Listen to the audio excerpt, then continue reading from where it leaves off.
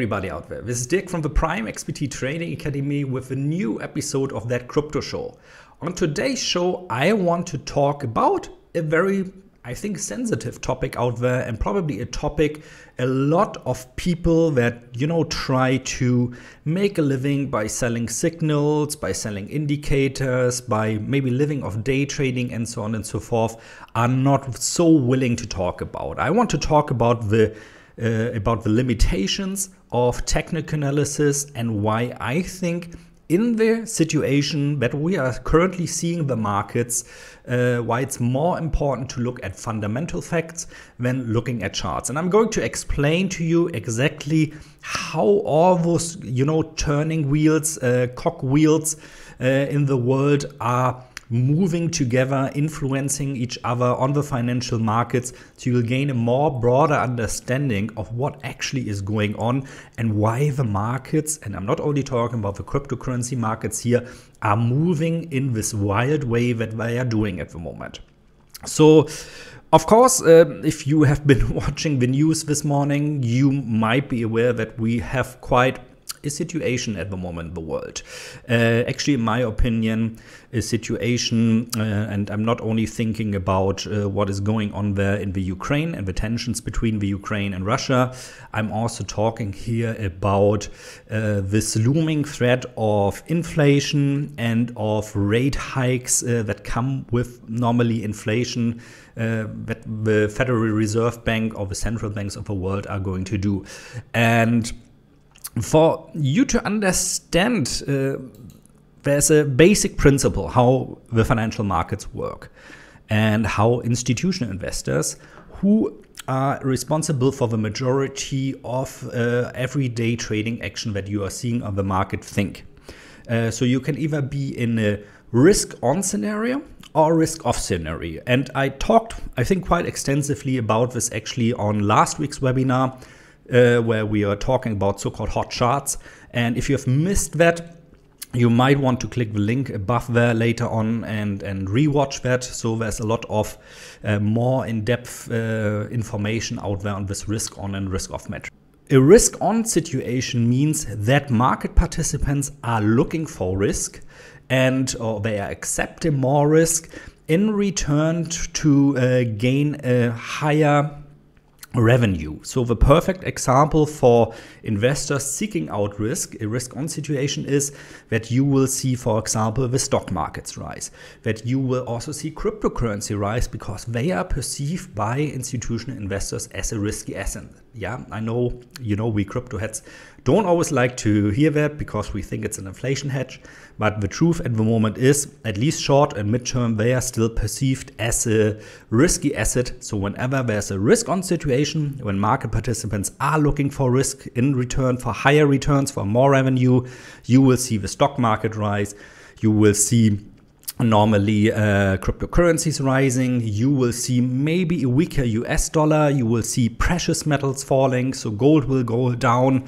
And you will see uh, also a less demand for treasury bonds, for example. Now, on the opposite of this, uh, there's a risk off situation. Risk off means uh, that uh, investors are looking for so-called safe haven investments. And the typical safe haven investments are out there. They are looking for gold. They are selling stocks. They are selling cryptocurrencies. Uh, they are buying bonds, uh, treasury bonds of, of countries and of corporations uh, that uh, have a, are in a very, very good and stable financial situation uh, you will usually also see the US dollar getting stronger. And uh, one quick look at a couple of assets can help us as investors to determine in what kind of situation we are at the moment. So what we see here, and let's start here with gold. Uh, so this is a chart for the last six months of gold. You can very, very clearly see an uptrend especially the last days, uh, gold moved over 1,900 US dollars which is a very, very clear indication. I mean, look at this uh, development here. Since uh, actually the end of January, we went from 1,780 something to 1,900 US dollars per ounce. uh, this is a very clear indication that there's demand for gold, probably because there is a risk off scenario. If we look at the euro dollar, uh, has been moving sideways lately. But if you look where we were six months ago, we were on our way to 120. Now we're at 113. We actually dipped uh, in the end of January all the way down to uh, under 112 already. This means there's demand for US dollar. And uh, so uh, you, the way you have to see it is if you see this quotation euro against US dollar is how many US dollar do you pay for one euro. So the lower the number is, the less US dollar you pay for one euro, meaning the stronger the US dollar is. And if we compare that to where we were six months ago, I think we can very clearly say here, yes, the US dollar has gotten stronger. You will see the same pattern, by the way, uh, on other crypto and on other currency pairs as well. Let's look at commodities. Let's look at oil.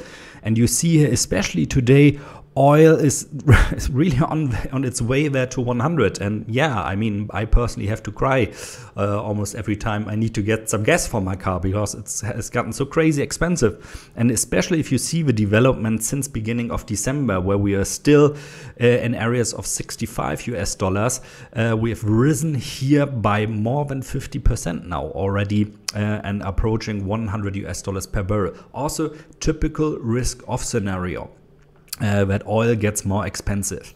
If we look uh, the last six months at the US stock market, so this is the S&P 500, largest and most important stock index in the world, the 500 largest US companies by uh, market capitalization that are openly traded, and we saw it peak uh, end of December here at 4,800 points we actually slumped down until uh, almost end of January to to 4,300 points. Had a little bit of a of a, of a rally then again, but now since uh, since the beginning of February almost, we see declining again. And remember, remember lower stock prices, less demand for, for stocks means a risk off scenario. And last but not least, also, especially if we look at, at Bitcoin, and you can see the pattern here really is very, very, uh, very, very alike to what we have seen here in the S&P 500, right? Uh, but Bitcoin tends to outperform to both sides the stock market. So the decline we are currently seeing here in the last days is by far stronger. I mean, we slumped all the way down after we failed to break over the 46,000 here from 45,000 to today 37,000. We were lower in the early session at almost 36,000 US dollars already. So this is a clear indication that we are in a risk off scenario and we are in a risk off scenario because of uh, especially the scenario of the tensions that seem to escalate a little bit there uh, in the Ukraine because, be, between the Ukraine and Russia, and of course, uh, maybe impending war and maybe even an escalation of a war is something that the markets do not like to see. And this is a typical situation where it does not really help you to analyze the charts. So to analyze the Bollinger Bands here, to analyze uh, what you know what I like to do the the on-chain metrics and the fundamentals uh, that, that tell you like, hey, for example, there are coins moving off exchanges as crazy, so there's a supply shock uh, coming. And I also did a video on this. Um, they don't matter. If the fear is ruling the market, things tend to uh, go crazy, and no technical analysis is going to help you there.